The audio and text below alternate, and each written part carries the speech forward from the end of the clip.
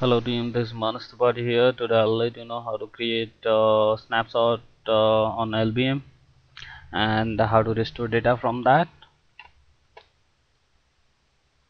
I have added a new disk to my system and uh, I'll now scan it uh, to check uh, like to uh, see it in the system. Uh, now you can see that uh, I have scanned my device tree. Uh, I've passed on this command echo uh, on my SCSI host and uh, now you can see there is a new disk added to my system that is of 5 GB I'll create a PV 7 created. I'll create a VG now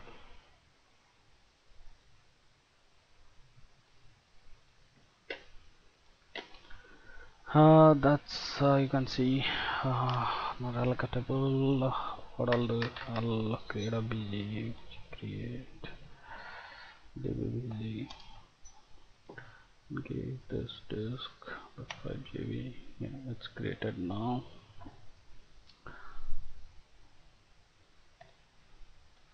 You can see it is allocatable now yes. So our VG has been created can see it here. I've created this VG I've created this VG you. Can see it now.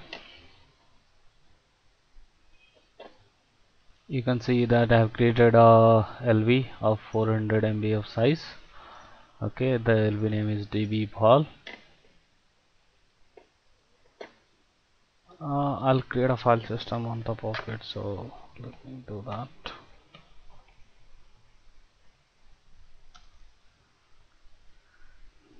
div also it should be div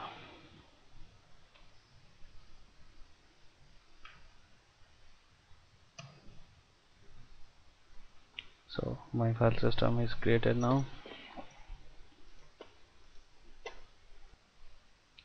Okay um okay let me mount this file system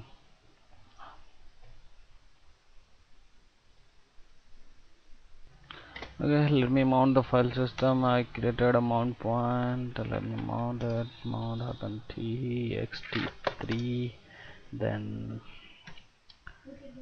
div dvbz and dv wall. And I should mount it on db data. Yes that's been mounted now. Let me check it oh, db data yeah so it is mounted now. Okay now I'll go ahead and uh, create an snap volume for my db wall that just I have created. So I've given uh, 400 MB the new the snap volume name is db snap ball and my volume is dbvg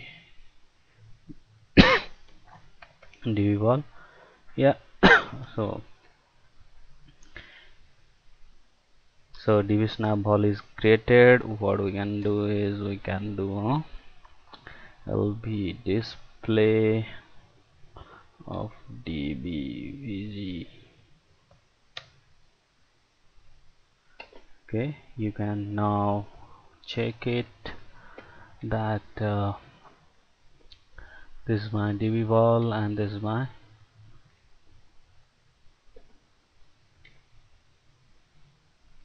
db snap wall.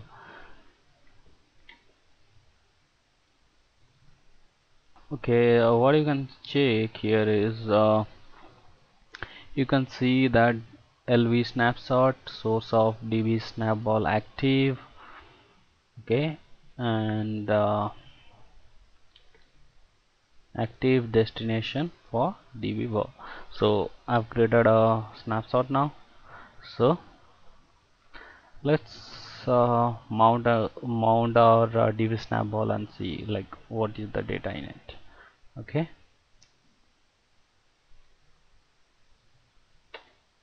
Okay I have now mounted uh, the db snapball on MNT and you can see both of them is having the same uh, the size is same so there would not be anything else in that because they have just created. So I'll put in some data and then we see that it's been you know uh, taking uh, the concurrent uh, data backups.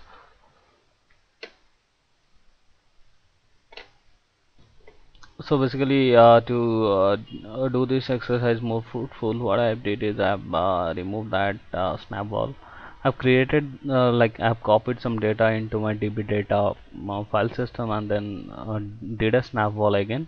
Uh, so that we can have some data and we can actually uh, differentiate that uh, what's being changed or what's being you know mm, um, what we are getting out of it. Like how we are taking backup as a snapshot and then you know. So to mainly differentiate. So I have uh, copied DTC uh, data to DB data. So and uh, I've created a snapball slash uh, uh, this uh, DB snapball and mounted that on slash mnt so you can see uh, uh, 21 MB it is uh, taking 6% so